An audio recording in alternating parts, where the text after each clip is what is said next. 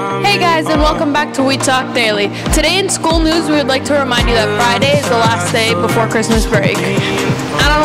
Have a brief showing of the dance concert, so be sure to be there and support your peers. Now to Chloe with the weather. Thanks, Bianca. Today in weather, it will be 3 degrees, and then it will go to negative 4 degrees, and there will be a light snowfall. Now to Penelope with celebrity news. Thanks, Chloe. In celeb news, Offset interrupted Cardi B's Rolling Loud performance to ask her for forgiveness in front of an active crowd. In my opinion, Offset's act was very malicious and manipulative to put Cardi B on the spot in front of an active crowd. Cardi B did say no to his act and did walk away. Good job.